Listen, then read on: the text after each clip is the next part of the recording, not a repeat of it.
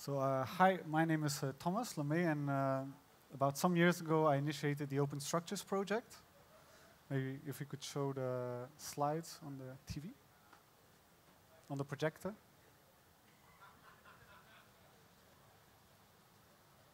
Slides. Slides. Yeah, great, thanks.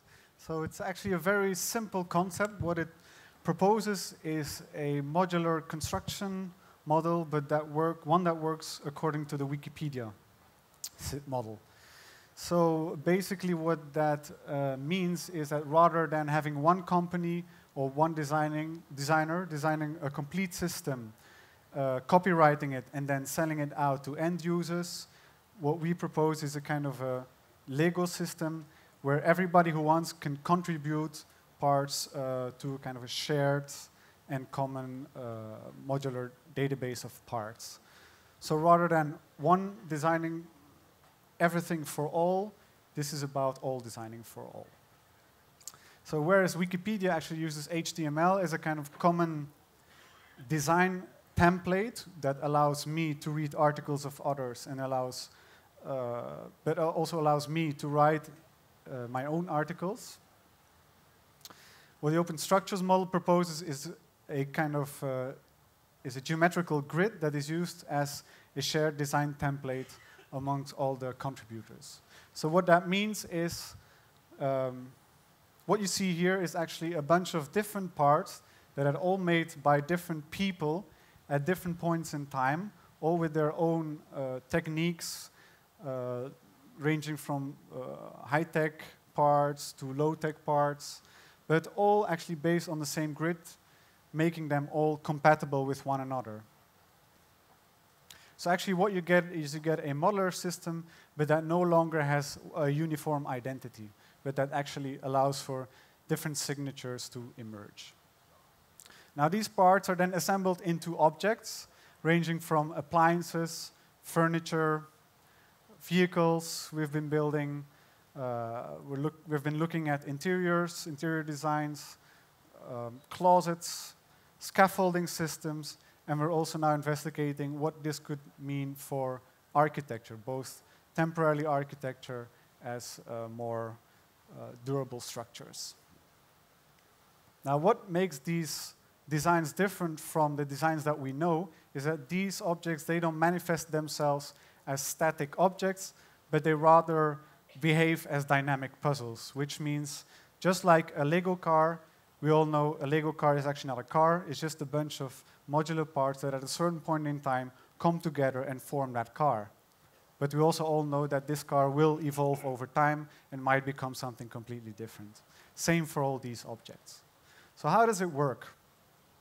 Now actually at the core of the modular system, we have the components. So it's not the objects that are central, it's all about the components. Let's take this component, for example. Uh, here you can see how it's connected to the grid or how its design is connected to the grid. Look at the assembly points. And here you see what the first person did with it. So Christiane Högner, she designed a swing uh, with this component. This swing was then passed on to the next person, which is Artin Aharon.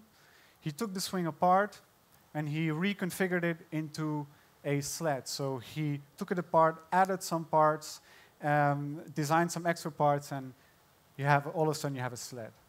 Then we took this sled, and uh, it's passed on to the next person, to uh, Marijn van der Pol. And again, he took it apart, and what he made from it was a suitcase, which you can see here. Then we took the suitcase apart, and here you can see a bicycle in which, again, the same parts are used. So again, dynamic puzzles, but uh, another feature that is very uh, typical for this kind of systems is that you start to see different objects from completely different typologies, but that start to interlate with one another. You can take the back of the seat, slide it into the kitchen uh, module, and so on. So this is about this is what kind of objects it generates. Now, around the object, we also designed a service, and the service is there to facilitate this exchange between different uh, parts and also the, facilitate the discussion between different people. Let's take this object, for example. This is a sand digger. Every open modular object comes with a kind of a code with a bit of information. Now, what you can do is you can serve to openstructures.net. You can type in a kind of keyword that you found on the object, and the website will direct you to the profile page of this specific uh, object. So in this case, we type in sable. It brings you to the profile page of the sand digger. Here you see the object, you get a small description, you get to know uh, who designed it, when it was designed, and where it was designed. But you also see what kind of parts this object is using. So if you click on the part, you can uh, download the 3D file of this part. You can start to puzzle around it with it yourself. But you can also see what kind of other objects other people have been building with it. So you can now jump from one object to another and see if you could actually maybe convert your sand digger into a sled, into a suitcase, integrate it into a bike, and so on. Now, in order to do so, you can uh, contact the other person that has, for example, designed this sled, and he will furnish you with the missing parts. Um, or you can contact the person who has designed the suitcase, and again, he will furnish you with the missing parts, or he will send you the DXF drawings that you can take to your local fab lab and uh, just print out or laser cut your missing parts. So in a way, what this system is proposing is an open modular system, is a system of, of design, of production, of retail, but that actually spreads the wealth among its contributors. That's for the object. We had the service. Now, the third missing element within the object system is the space. Uh, this is a picture of our studio in Brussels. This is actually what you could consider the first open structures workshop. Now, what is the Open Structures Workshop? It's kind of a, a, physical database of all the parts and objects that have ever been designed from this system. And it's, um, we imagine it to become a kind of a new library, a place where people can come with their objects and puzzle around with them, play with them, um, adapt them, uh, take them apart, sell parts they don't need anymore, uh, or design, build further on them together with other people. Now, because this is uh, it's a very small space, so we don't have actually enough, uh, it's not a real public space at this moment. But in order to test this space, we actually invite every four months somebody else uh, to this place and we ask him to play around with the place, with the system. This is Fabio. He designed this part, which is a kind of an adaptation, adapter piece between a PET bottle and the grid.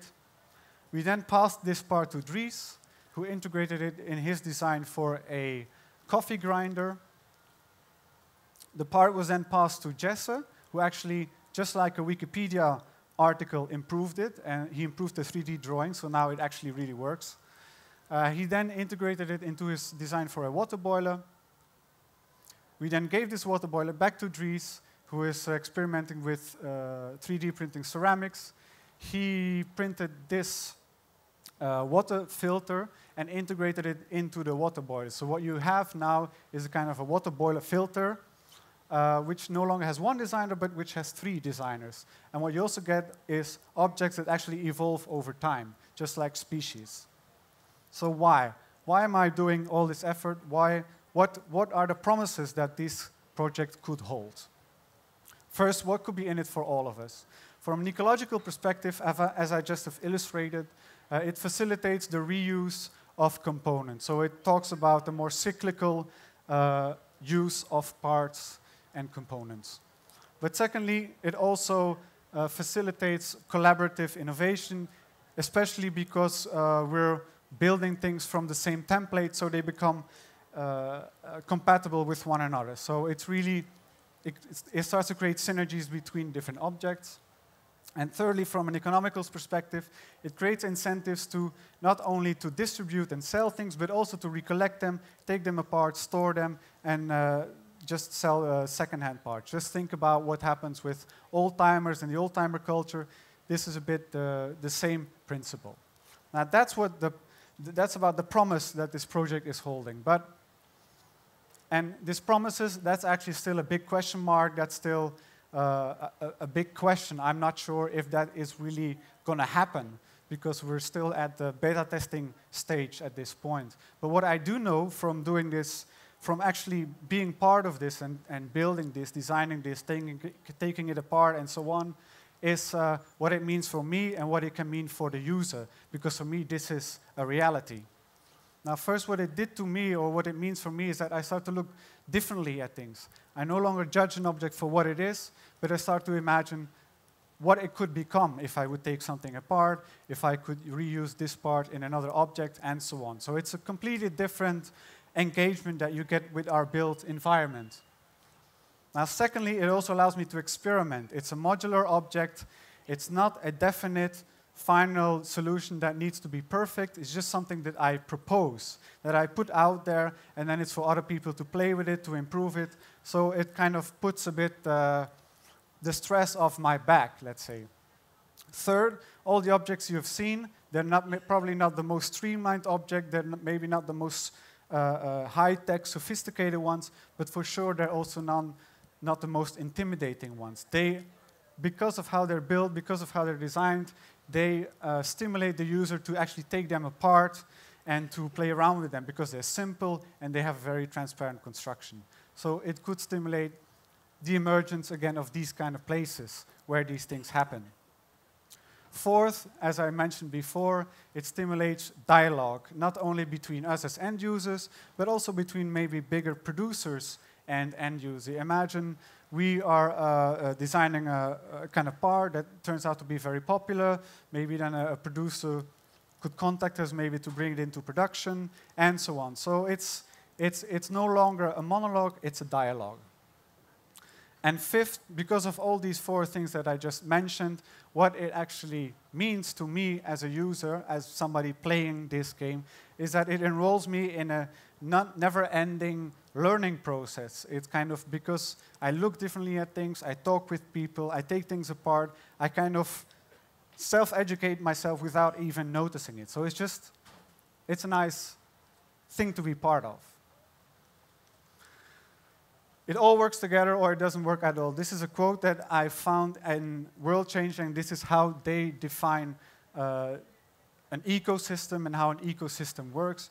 And this is actually, if I think about it or if I read that, this is actually what I'm trying to do with this project, trying to create uh, an object, not an object, an object system, let's say, where there's a very, where the space, the object, and the service are very much interrelated and uh, influence each other to a large extent. So please join us in building the most diverse modular system in the world at uh, openstructures.net. Thanks a lot.